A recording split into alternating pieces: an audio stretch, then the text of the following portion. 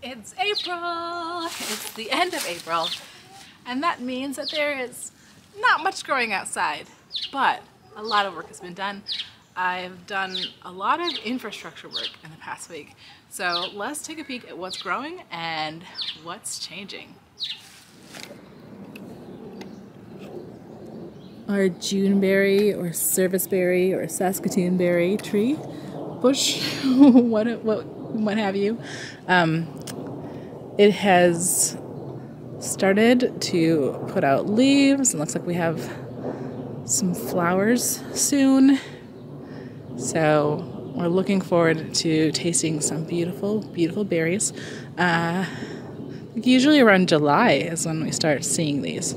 Uh, our first berry is usually usually either a very early strawberry or a raspberry, but always always enjoy the service berries. And one of the big tasks that I did the other day is uh, a little little black raspberry maintenance. Um, this is so thorny, so thorny that uh, I put it on this trellis. Last year was the first year with it on the trellis, and so this year I just tried to make sure that things that were poking out got tucked into the trellis and anything that was growing too far away from the trellis got pulled up because honestly we have we have a lot we don't really need to devote our entire backyard to these black raspberries although I'm sure that they would love to take over. We have a hardy kiwi never actually gotten fruit off of this. It's been here, um, how many years? We've had this maybe five years, so I, maybe, I don't remember. But um, yeah, hopefully, hopefully soon. I'm not sure if I could eat these. I'm worried I might be allergic, but uh, it'll be it'll be nice to at least at least experiment. I've never had a hardy kiwi berry before, so I am excited to try.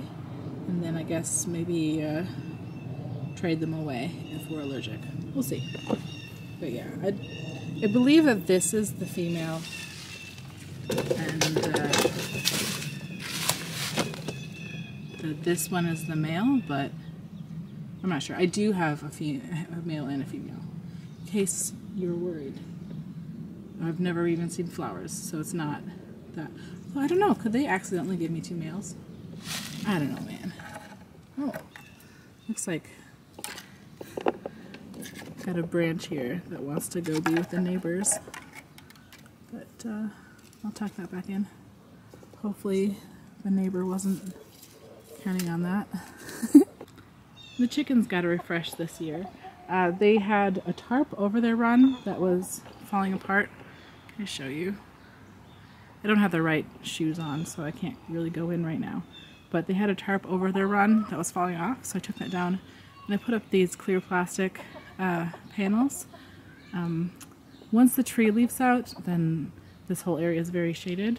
The other thing that might help is we have Virginia creeper that grows along that fence, and that will probably want to take over eventually and give them more shade.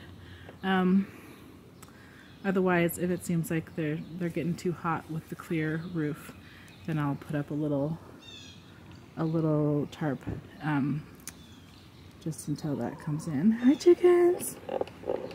And yeah, they also have a little garden area that's never really done anything, but this year it has irrigation, so fingers crossed. Um, so far, the kale that I put in there seems pretty happy think I maybe put broccoli in there too. I don't remember. But yeah. Hopefully, oh, it's starting to rain. Okay. Okay. Let's let's go check out the front. And it ooh, this one nope. I thought that one had three leaves, but it's just two plants next to each other.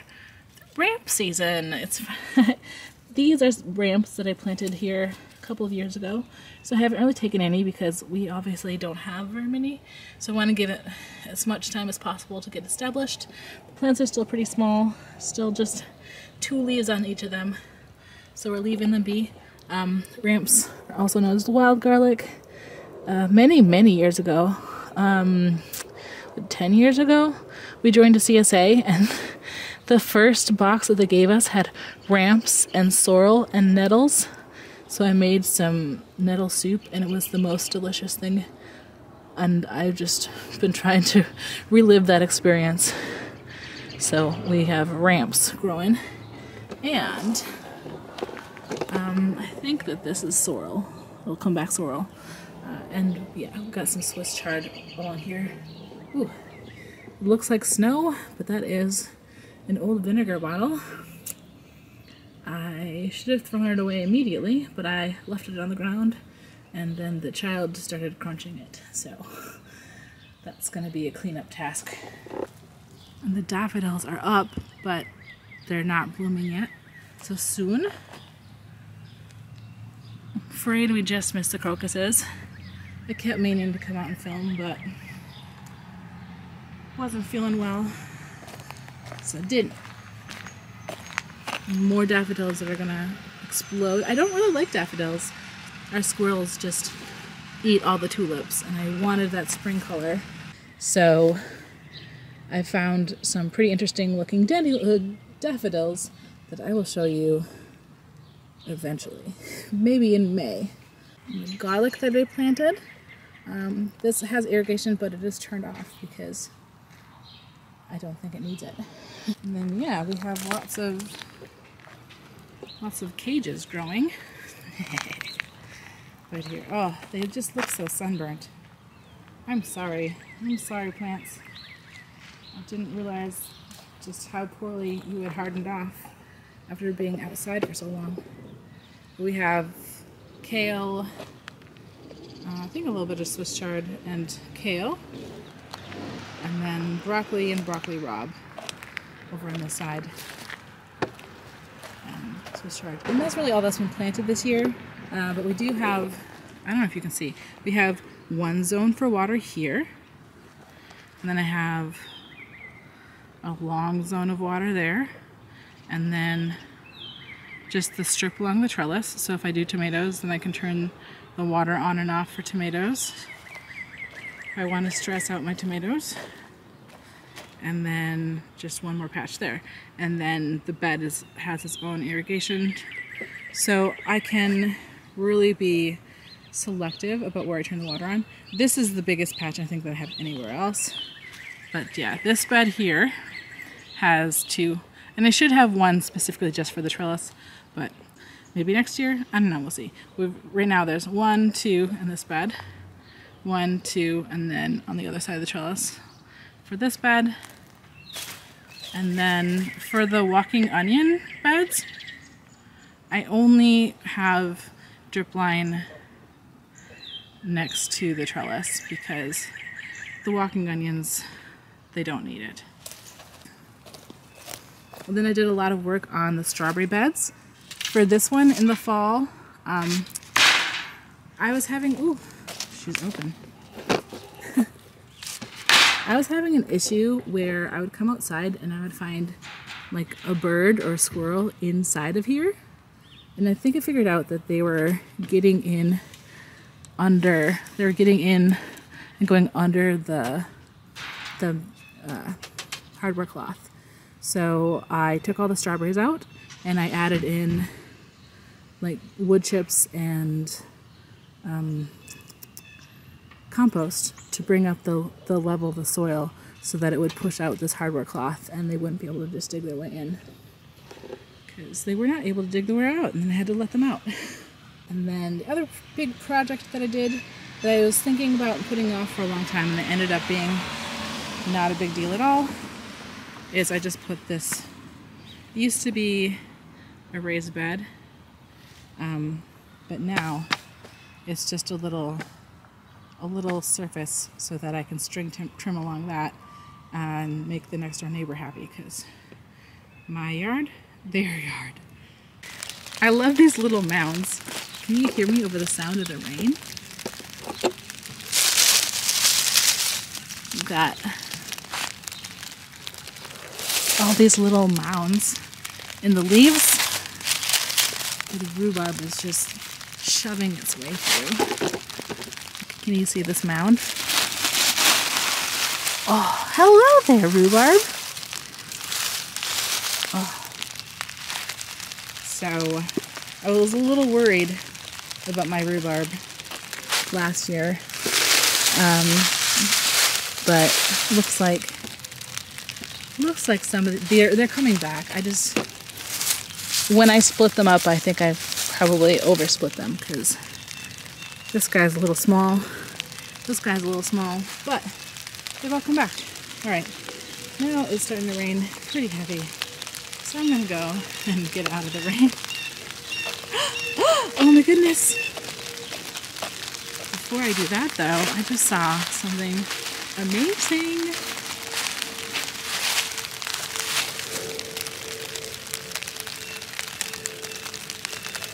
We have a little daffodil that's just about to bloom. Hi, daffodil.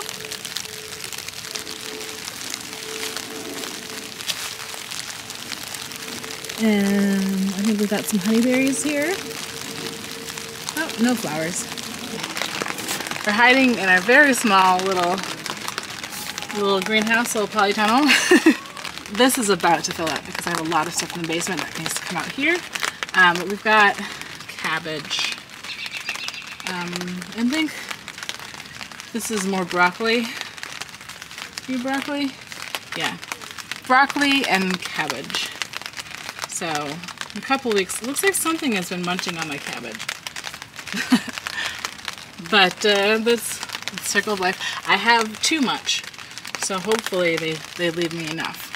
Ah, and this is where everything is. it's all in the basement. I had terrible luck with the spoon tomatoes that I got as free seed from uh, Baker Creek. So I tried again because I really want to try the spoon tomatoes and all of mine died. Um, I've also been having terrible luck with the orange gomphrena, so I tried again. And terrible luck with the with my mixed seed gomphrena, so I tried again and that's doing better. But orange gomphrena, still not doing well. And then we've got lots of uh, in here. I'd open it up, but I think I've been cutting off leaves. Although, yeah, I think you're about ready. About ready to go without the dome. I like to leave it on just to make sure that the mice don't eat them. But at least, uh, at least these will grow back fast enough if I need to replant them. Yeah, so we've got a little muncher cucumber and a little dragon's egg cucumber, and these are both new to me. No, this one's new to me. I don't know if this is new. I think I tried it last year, and it wasn't as bi not bitter as I said. I think it was pretty bitter. But I'm trying again because I can't find the seed for the one that I really like. But I probably still have time. I can just order that. I might order more. I think I like Richmond apple, Richmond green apple. Um, but we're trying the dragon's egg because this is a white cucumber and I'm hopefully hoping that I will be able to see it before it gets too big. And then a banana melon, which is new to me. Um, it should be a sweet melon. Crane melon is new to me. It should be a sweet melon. Spaghetti squash, not new. Classic. Ooh. I planted two of them in each just in case, and everything sprouted, so didn't really need to do that, but we did.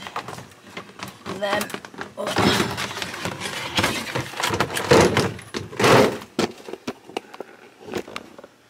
and down here we have a bunch of different ones. So, with sweet meat. Um, this should be a winter squash. I've never tried that before, that's new to me. And this Hokkaido red kuri, I think. That's new to me. I don't remember what's on the other side. I believe it's something different over there. Uh, but yeah. So these are all looking really happy. We've got the true leaves coming. Um, and hopefully they have enough space in here. I just I planted them directly into these because like melon, melons and cucumbers and squash, they just get so big so fast that you kind of have to start big. And I need to need to raise up my light again because my tomatoes probably about ready for me to stick in a stake, honestly. Um, yeah, as I said, my spoon tomatoes all died. My Mila tomatoes all died. So I've only got mortgage lifter and uh, and the Isis cherry. And um, yeah, they don't. They are gonna appreciate getting kicked out to the warmer days as soon as it gets warm enough for that. And then we've got some peppers down here. Um, these are albino bullnose peppers, um, they, which is new to me. I've got one growing in my AeroGarden, but um, I haven't really tasted them yet. So these are new this season. And I've got some, all, all of my other peppers I overwintered, but I'm really worried because I only, only like two of them look viable. So we might be light on peppers this year. Might have to just buy some starts. Then I've got a bunch of herbs up here and a bunch of statice here. You're gonna get kicked out of the green, kicked out into the greenhouse pretty soon, statice. These lights are new and they were so cheap, so I'm kind of surprised that they're working at all, but they're definitely not, definitely not the most powerful bulbs. Definitely not the best, but they were so cheap. Ooh, this needs water. Straw flowers, and then, yeah, my really poorly, poorly germinated, poorly grown gomphrena. A lot of that, that is I got sick. And uh, maybe these lights are just, maybe they'll be happier once they get kicked outside. And then we have Gaillardia, the Indian blanket, and then some sad looking zinnias. And then herbs, marigolds, and then some special special party plants for a special party. And as I have been sick for a while, these have not been properly properly tended to. And uh, this guy is bolting.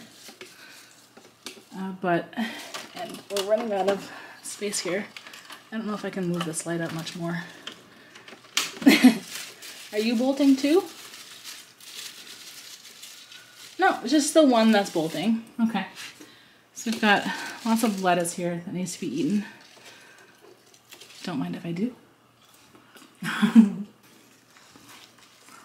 this is the albino bullnose pepper.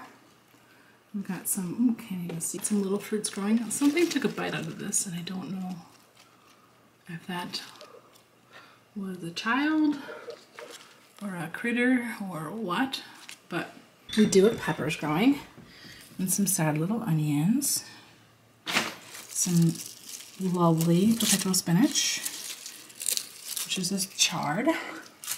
And it's delicious, and I love it. Um, chard break. Now, this little orange hat tomato put out so many, and they're finally starting to ripen up. Um, I think they get, they're very yellow. They look pretty orange on camera. Oh, that's that's better. That's more of a good representation. Now I did try one of them. It was a little more yellow. And sadly, I didn't think it was very good. Oh, it split in my hand. Oh no. Mmm. Mmm. The problem they had last year when I grew tomatoes and peppers in the basement, not hydroponically, they were grown in soil. They just, they didn't taste good. So I was like, oh, maybe, maybe sunshine, like being outside, getting that rain, getting that earth, like that's really crucial for having tasty tomatoes and tasty peppers. But I just, when I started growing hydroponically, wanted to try it out. And my plan was to expand and to have some big, big buckets with tomatoes and peppers and maybe cucumbers in the basement, but um, if this tomato still doesn't taste good inside, then maybe I'm not going to. I think I still will expand for leafy greens because, excuse me, even though I have all of those leafy greens, all of those leafy greens growing, my partner still always buys lettuce at the store. Just not good at like remembering that we have it. And then also because there's a finite amount of lettuce growing in the house. I don't think he feels like it's a thing that we actually have that he can have, but please eat my lettuce. All right, let's try the orange hat tomato grown hydroponically in the AeroGarden in my workout room.